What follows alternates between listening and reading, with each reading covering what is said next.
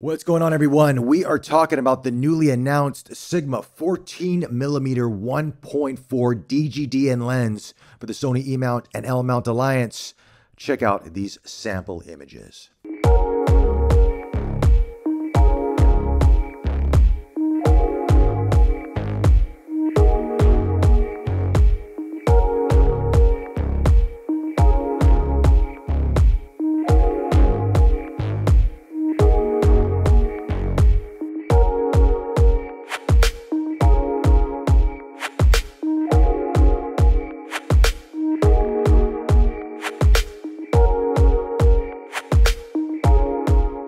So as we saw from the sample images there, this lens performs beautifully when used correctly. Now, primarily for my photography, I used urban landscapes. So I used buildings and I used architecture and I try to capture some people once in a while just to try to give a different perspective. But Sigma is really targeting the astrophotographer with this lens. Now, where I stay here in Singapore and because of the light pollution and because of the weather, it's really hard to get really clear skies with really nice stars out there. So unfortunately, I wasn't able to capture those for you. Really surprised by the performance of this lens, especially wide open at 1.4. Now it does have three FLD elements and four aspherical elements inside of this. Sigma has packed a lot of great glass in this lens and you can tell right from the very first shot that you take that this is a special lens. It's not going to be for everybody. Now for the person who doesn't really shoot 14 millimeters all the time, I would opt for the 1424 from Sigma. At least you have a range to go with that, and that's a 2.8. It's not a 1.4, but at least you have some room to play with. But if you know that you need a 14 millimeter lens for your applications, your type of photography, this is a lens to heavily consider. And it's going to be a little bit of an investment, but Sigma has really packed a lot of great glass and a lot of great performance inside of it. Now, I want to talk about what's inside the box because there's some new additions here that I think are going to be really helpful for a lot of you out there. Now, this is a lens heat retainer ring. Now, I don't use a lens heater because it's hot and humid here in Singapore and I'm not in a climate where it's very, very cold. But if you are, let's say, the Northern Lights, for example, or you want to shoot stars in a colder climate and you're using a lens heater, this retainer ring does come in handy and this is inside the box when you get this lens. Also, because the front element is so bulbous, you're not able to put a uh, any sort of ND filter or any sort of filter for that matter. So on the back of it, you actually they actually give you a pattern where you can actually cut out your own filter and put that inside the back of the lens. Outside of that, you have a toolkit here. I believe this is for your tripod footing there, and you have two bolts, so keep that handy. And you got two straps that come inside of the box. So you're pretty well prepared for this lens because I think, again, this is a specialty lens. It's used for primarily astrophotography, but you can use it for other applications. But if you need these things, it does come inside the box. Now, also another feature of this lens, which is new, is the lens cap. And I want to show you what's very cool about this right now. Now, you don't want to lose your uh, filters. You can actually store them inside the lens cap right here. You have door one, door two, and there you have it. You can store them in there. And this is a pinch cap, so you can actually just put this on the lens, pinch it, solid, it's not coming off. Very good addition to have with this lens. Now, outside of that, let me show you the front element here so you have an idea. This portion of the lens does uh, sort of lens hood does not come off, so you cannot remove that. And obviously, it's for protection of this bulbous front element here. But it is uh, pretty well protected, I say.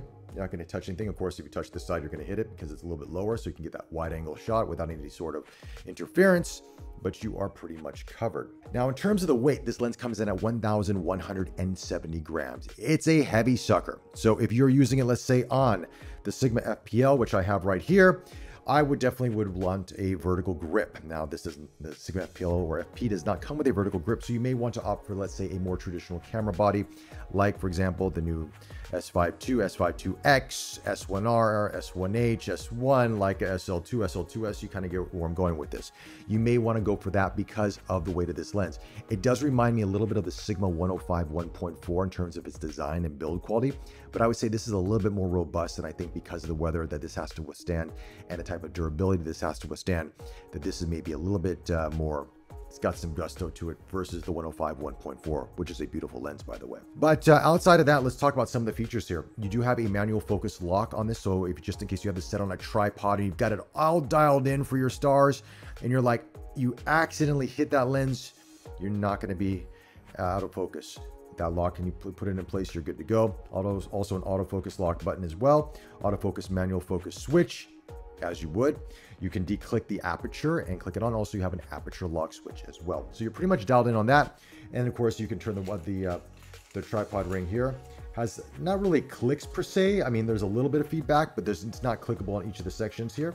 So that is something to keep in mind. But outside of that, though, I have to say, I really like the performance of the lens. I think it gives a really nice depth of field if you want to get close up on a subject, if you want to be a little bit different with some interesting distortion.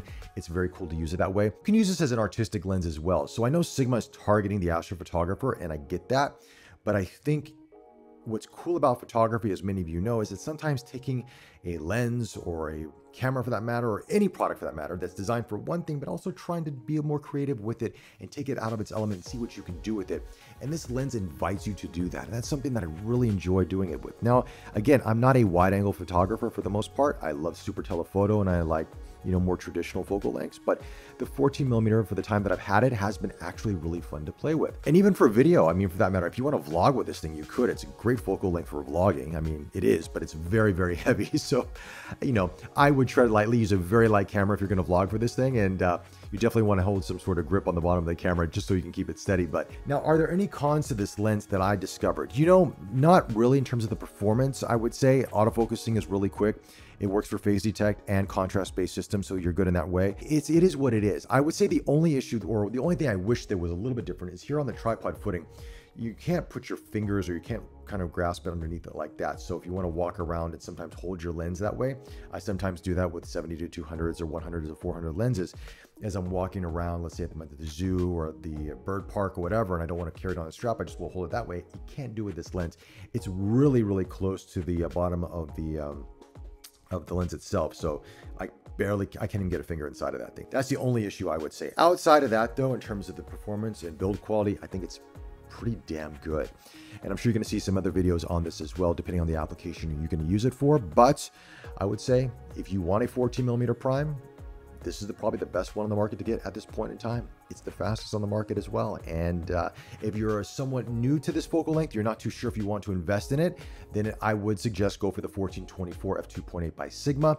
At least you have some versatility there. And then if you really know that you want to get a 14 millimeter prime, then you could obviously invest into something like this and you're going to be good to go. Anyway, guys, those are my thoughts on the Sigma 14mm f1.4 DGDN lens for the Sony E-mount and L-mount Alliance. Let me know your thoughts in the comments section below. If you like this video, hit that like button, subscribe to the channel. More content coming your way. Take care, stay safe, and I'll chat to you soon.